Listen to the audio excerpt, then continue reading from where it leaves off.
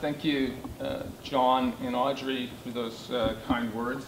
I have to say we had some tech problems at the beginning, and I, uh, given the talk, I think it might be the NSA intercepting our communications, but uh, Mark uh, set up a firewall and it's, it's all saved. So the work here I'll present today is based on preliminary research undertaken with the generous support of a Digital studio research grant. Um, as John mentioned, my work sort of uh, veers from uh, you know 20th century poetics and art, um, uh, uh, science and literature, and, uh, and digital archiving. But where I think it comes together in some sense is in the in intersection between 20th century lit and art media innovation and the communities that emerge from this intersection. And I think, uh, I think that'll be true of the work I'm doing today, which uh, I should mention also grows out of another interaction and ongoing collaboration with my colleague Dee Morris. Uh, for those of you who know her, uh, whatever I say here today is the product of our minds uh, in conjunction. And we were doing some research for this project in, uh, in London at the archives together, which was fantastic. Um, at any rate, uh, again, this project is in a preliminary uh, state of affairs. Uh, and it, it began when Dee and I started to notice maps everywhere. And some of you have probably noticed this too.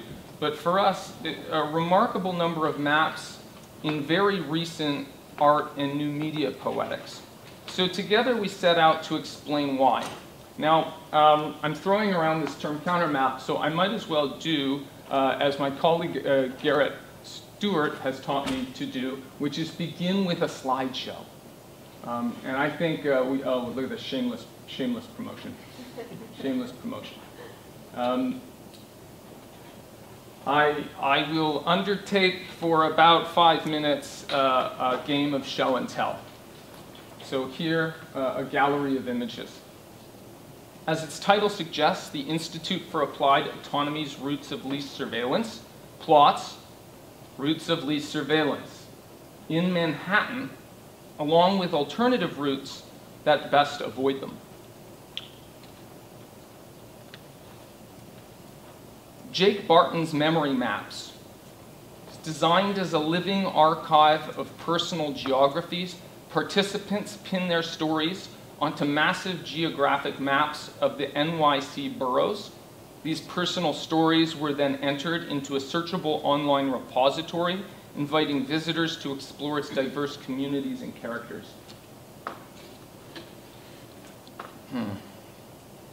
Simon Elvins titles his braille map of the city Silent London.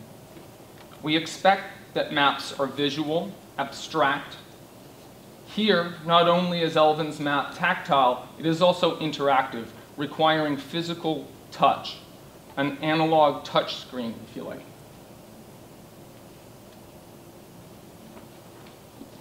Brazilian artist Vik Muniz's WWW world map made from junk computers.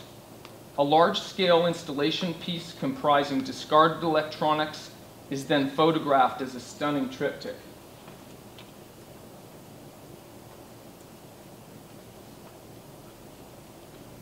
We hear the litany of terms vying to describe the financialization of the world economy, a logic variously dubbed late capitalist, post-Fordist, and post-industrial.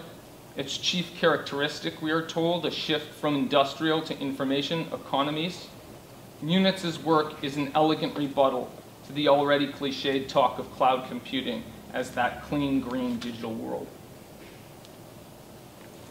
Shadows from Another Place by artist Paula Levine is a series of transposed maps using global positioning systems coordinates to translate and represent the impact of terrorist or military actions that take place in one location upon another.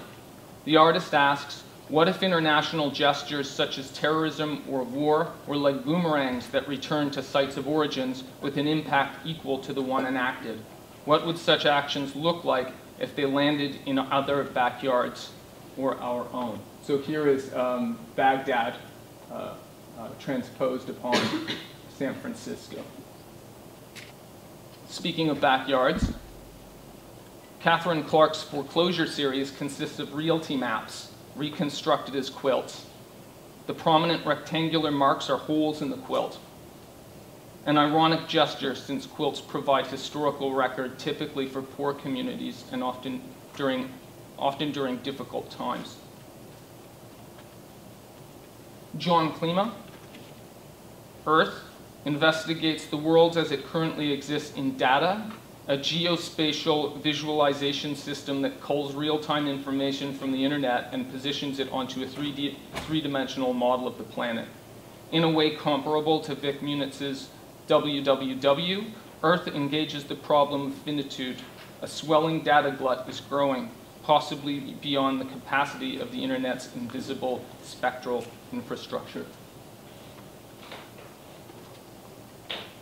Eric Paulos' participatory urbanism, or uh, air samplers with carbon monoxide and nitrogen dioxide, sensors were mounted onto taxis along with GPS units in the uh, Ghanaian capital of Accra. The environmental data collected showed citywide pollution levels, which in turn mirror city poverty to the letter. The artists hoped their work would enable poor communities in their bid to enact political and environmental changes. Billed as an interactive uh, documentary, Jeremy Mendes and Leanne Allison's Bear 71, and I'll show you a bit of this, uh, chronicles the life of a grizzly bear in Canada's Banff National Park from the moment it's tagged and collared. The story is told in the first person by the mother grizzly bear, but it's visualized as a series of data points and through surveillance camera footage in the park.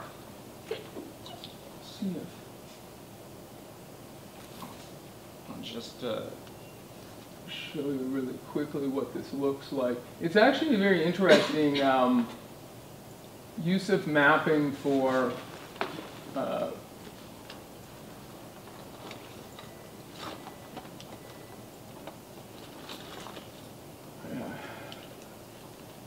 to tell a narrative. I don't, I don't have the song uh, sound on, but here you play the human, and you get to see the natural environment of the park um, uh, uh, affected by highway creation and the encroachment of, of, human beings onto the park.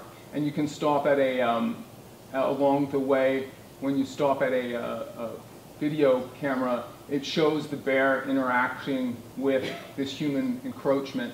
Uh, and it's a quite fascinating story. It takes about 20 minutes to read.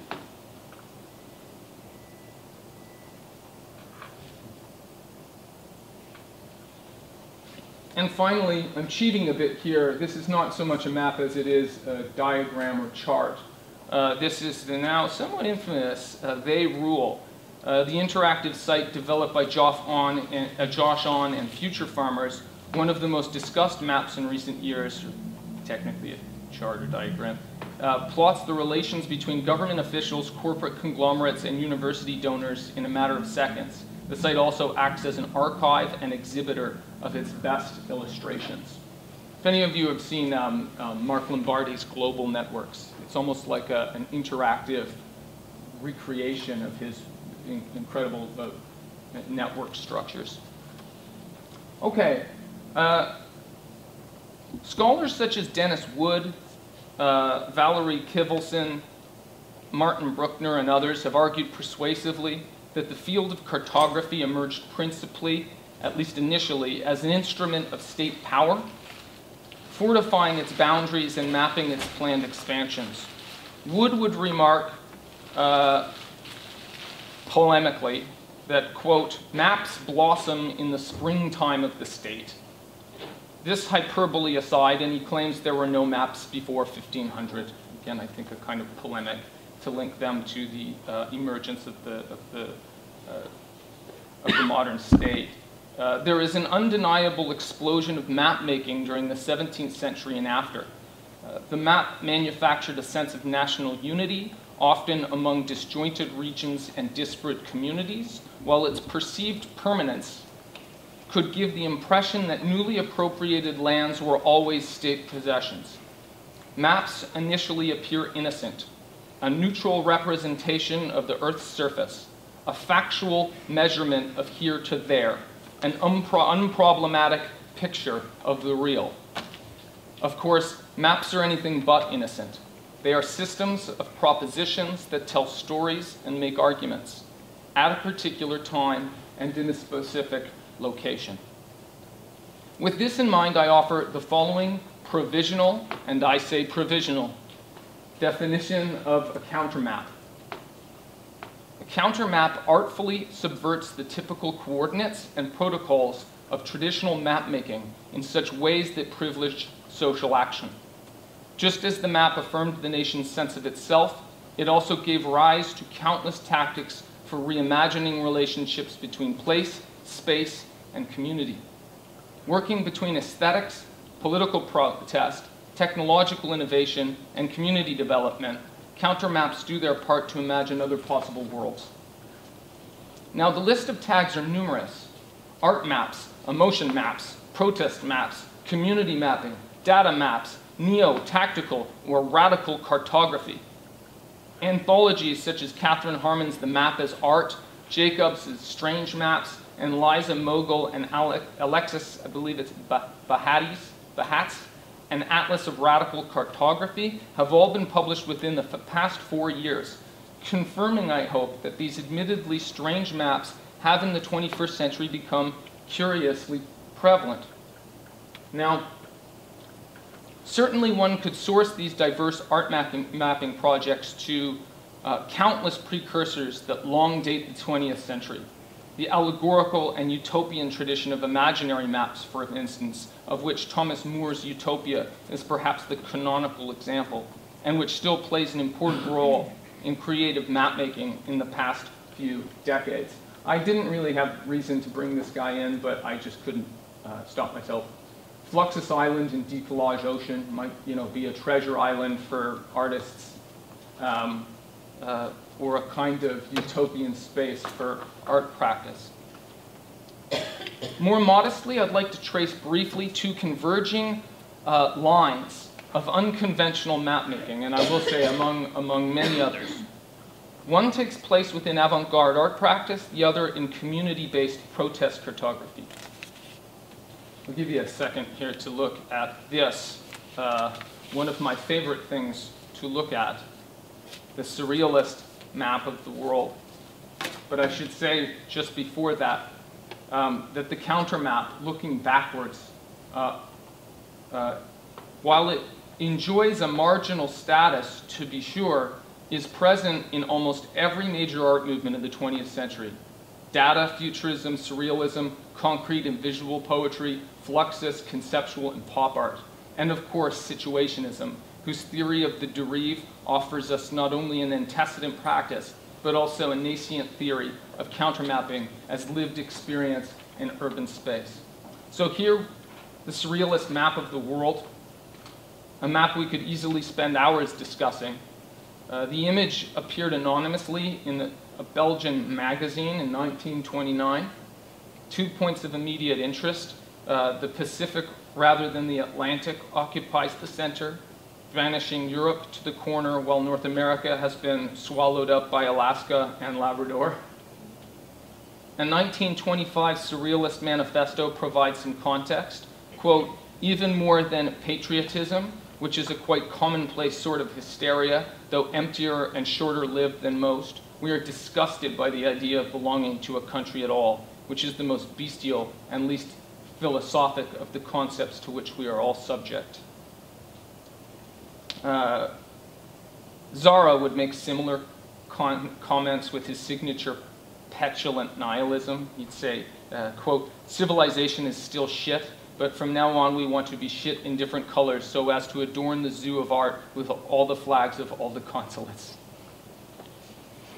there you go. Uh, next we turn to Dada's most militantly political center in Berlin a work by chief member of Club Dada and one of the architects of photo montage, Raoul Hausmann's Dada Conquers. Uh, the word Dada, and this, this has been a, a well, dis thoroughly discussed uh, uh, collage, but if you notice at the top, you have Dada written over half the globe, and then again, you have it, it's hard to see, right here on the brain. So Dada has maps on the brain. And why this is, uh, seems to also include a kind of uh, objection to rabid nationalism and war. Art, instead, should triumph the world over. Uh, here we have the Dada, uh, name of the piece is Dada Conquers. So here, um, art should be the only conqueror. Okay. Psychogeography.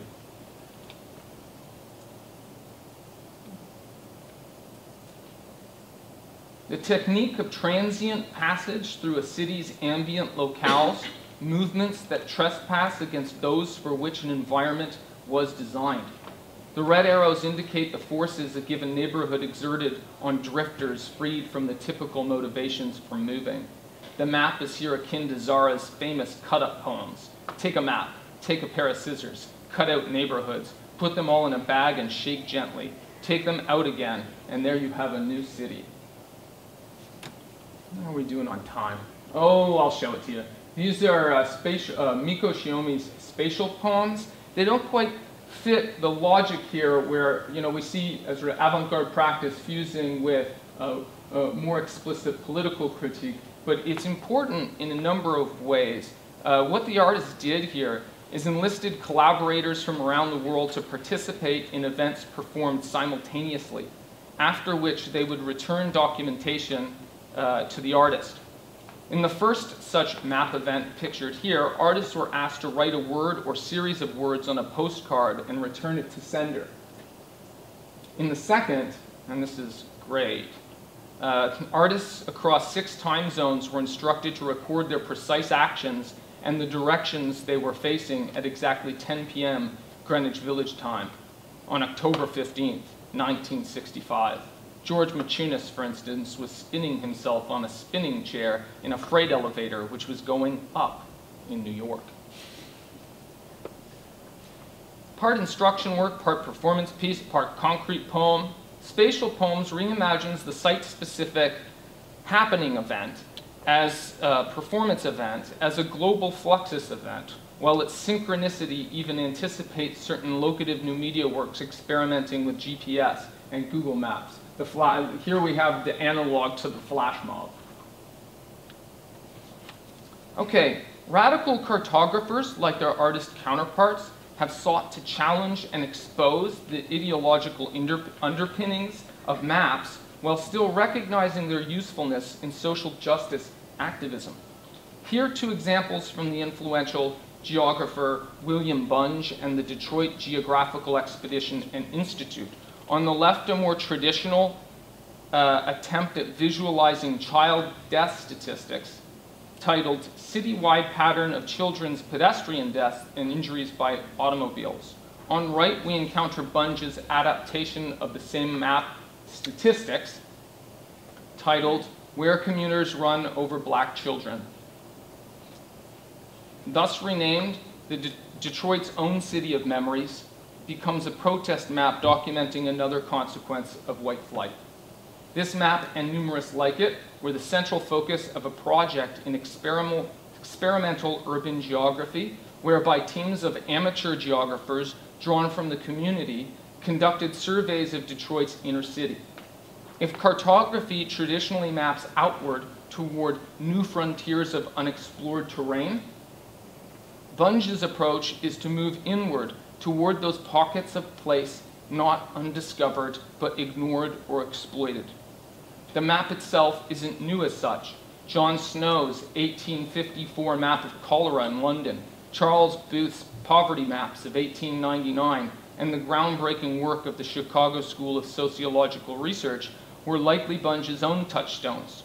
The title, on the other hand, is The Word of the Trickster, the Detroit expedition's crucial innovation might be understood to inject Dada's play, the situationist derive, into the field of traditional cartography. And with that, three loves converge. Avant-garde mischief, cartography undertaken by activist urban planners, and innovations in media that expand and extend cartographic resources to amateur mappers. Countermapping has now found a central role in digital poetics, new media art, gaming aesthetics, and hacktivism, and thus occupy, occupies a place at the forefront of, techno, uh, of technical innovation in art, making extensive use of global positioning systems, remote sensing satellites, and geographic information systems. No doubt one uh, notes from the foregoing slideshow a transition toward more dynamic, interactive digital tools and media, allowing, for instance, documentation of real-time data flows. Um, and when I imagine the maps I want to be made, and I say to myself, please make that map. I think of uh, these advances as allowing us to map the movements of, oh, I don't know, a bank's collateralized debt obligations and offshore tax havens. We could map, we could countermap the human genome by visualizing that part of it currently controlled under patent protection. But perhaps a cautionary remark is healthy here. Let's not simply covet cool toys. Let's not lose ourselves in the unbridled enthusiasm and perpetual cheerleading of a Wired magazine article. Evgeny Morozov, in a fine book called The Net Delusion, rightly admonishes a certain cyber utopianism in new media and digital humanities work. To be sure, Paulos is participatory urbanism, the one that mapped pollution over Accra. Makes use of advanced digital mapping and broken down taxi cabs. Mendes and Allison's Bear 71 likewise blends interactive data maps, low-tech surveillance footage, and the geographic records of uh, a national park. In each case, one finds the necessary combination of technical resources and cleverness to tell that story.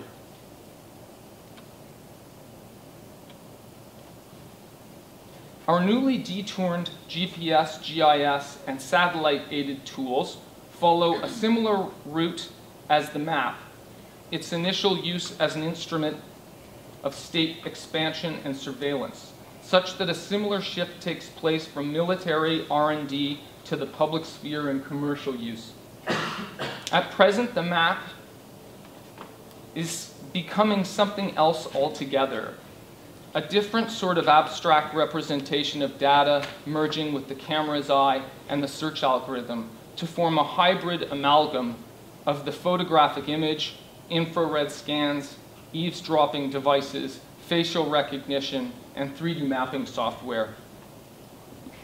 But after whistleblower Edward Snowden's NSA disclosures, Boundless Informant, PRISM, X-Keyscore, each program more far-reaching, more ubiquitous than the last. Such work seems somehow quaint. Meet Gorgon stare. I'm not kidding. This is a real thing.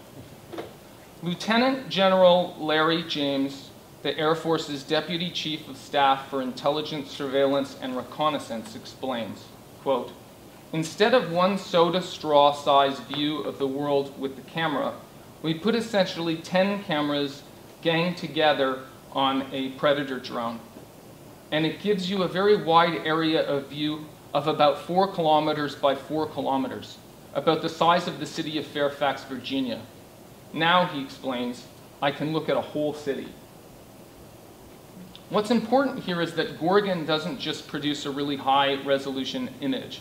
It can chart a target's movements, where he went, who he spoke with, it can intercept cell phone, text, and email data, and then map this information, often in real time. Perhaps unsurprisingly, the literary critic in me pays close attention to names. In Greek mythology, a gorgon is a monstrous female creature of whom Medusa is most famous.